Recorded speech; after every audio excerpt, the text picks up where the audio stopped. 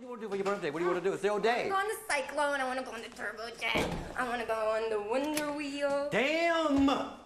Brother? Do you know me? Do you know my lady? No, I don't think so. Well, brother, you looking at us with all that fucking familiarity and shit. Mind your own business, man. Yeah, you're right. Obviously, I'm wrong, brothers. My mistake. Uh, no disrespect.